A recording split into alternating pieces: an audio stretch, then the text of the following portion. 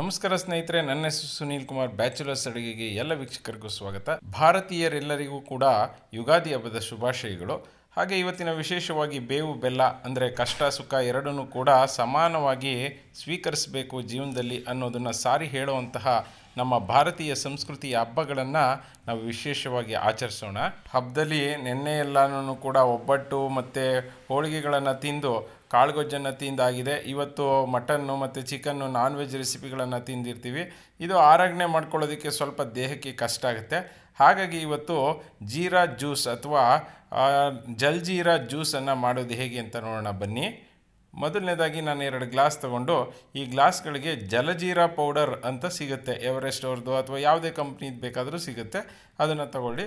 ಪ್ರತಿಯೊಂದು ಗ್ಲಾಸ್ಗೂ ಕೂಡ ಅರ್ಧ ಅರ್ಧ ಟೀ ಸ್ಪೂನಷ್ಟು ನೆನಪಲ್ಲಿರಲಿ, ಸ್ವಲ್ಪ ಕಡಿಮೆ ಆದರೂ ಪರವಾಗಿಲ್ಲ, ಜಾಸ್ತಿ ಹಾಕೋಬೇಡಿ. ಅರ್ಧ ಅರ್ಧ ಟೀ ಸ್ಪೂನಷ್ಟು ಜಲ್ಜೀರಾ ಪೌಡರ್ನ ಹಾಕ್ಕೊಳ್ಳೋಣ ನಂತರ ಒಂದು ಕಾಲು ಟೀ ಸ್ಪೂನಷ್ಟು ಅಥವಾ ಒಂದು ಚುಟುಕಿಯಷ್ಟು ಉಪ್ಪು ಹಾಕ್ಕೊಂಡ್ರೆ ಸಾಕಾಗುತ್ತೆ. ಎರಡು ಚುಟುಕಿ ಆದರೂ ನೋ ಪ್ರಾಬ್ಲಮ್.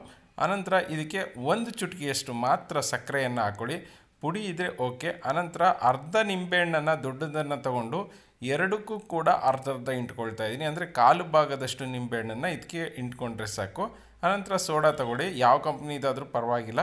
ಈ ಸೋಡಾವನ್ನು ಇದಕ್ಕೆ ಗ್ಲಾಸ್ ಒಳಗಡೆ ಹಾಕ್ಕೊಳ್ಳೋಣ ನೊರೆ ಬರ್ತಾ ಇರುತ್ತೆ.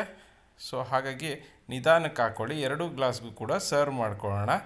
ಎಷ್ಟು ಚೆನ್ನಾಗಿರುತ್ತೆ ಅಂದರೆ ಇದು ಯಾವುದೇ ರೀತಿಯಾಗಿ ಅಜೀರ್ಣವಾದಂತಹ ಒಂದು ವಿಚಾರಗಳಿದ್ದರೂ ಕೂಡ, ನಿಮ್ಮ ಹೊಟ್ಟೆಯಲ್ಲಿ ಅಜೀರ್ಣವಾಗಿದ್ದರೂ ಕೂಡ ಇದು ಔಷಧ ಅಂತಲೇ ಹೇಳ್ಬೋದು. ಅಷ್ಟು ಚೆನ್ನಾಗಿರುತ್ತೆ. ಕುಡಿಯೋದಕ್ಕೂ ಕೂಡ ತುಂಬ ಚೆನ್ನಾಗಿರುತ್ತೆ.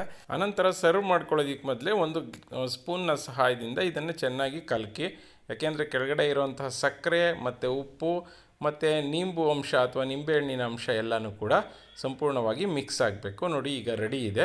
ಈಗ ಮಕ್ಕಳು ಕೊಡೋಣ. ಹೇಗಿದೆ ರೆಸ್ಪಾನ್ಸ್ ಅಂತ ನೋಡೋಣ. ಹೇಗಿದೆ ದೀಕ್ಷಾ? ಚೆನ್ನಾಗಿದೆ. ಹೇಗಿದೆ ಸಚಿತ್? ಟೇಸ್ಟ್ ಮಾಡಿ. ಹೇಗಿದೆ ಸಚಿ ಸೂಪರ್ ಆಗಿದೆ ಸೂಪರ್ ಆಗಿದೆಯಾ ಇಷ್ಟ ಆಯ್ತಾ? ಎಲ್ಲರಿಗೂ ಯುಗಾದಿ ಹಬ್ಬದ ಶುಭಾಶಯಗಳು ಹೇಳ್ಬಿಡಿ. ಯುಗಾದಿ ಹಬ್ಬದ ಶುಭಾಶಯಗಳು. ಸ್ನೇಹಿತರೆ ಎಲ್ಲರಿಗೂ ಕೂಡ ಮತ್ತೊಂದು ಸಾರಿ ಯುಗಾದಿ ಹಬ್ಬದ ಅಥವಾ ಹೊಸ ವರ್ಷದ ಶುಭಾಶಯಗಳನ್ನು ಹೇಳ್ತೀನಿ. ಈ ವರ್ಷ ಎಲ್ಲರಿಗೂ ಕೂಡ ಆಯುಷ್ ಆರೋಗ್ಯ ಕೊಟ್ಟು ದೇವರು ಕಾಪಾಡಲಿ ಅಂತ ಬೇಡ್ಕೊಳ್ತೀನಿ. ನಮಸ್ಕಾರ. ಜೈ ಹಿಂದ್ ಜೈ ಕರ್ನಾಟಕ ಮಾತು.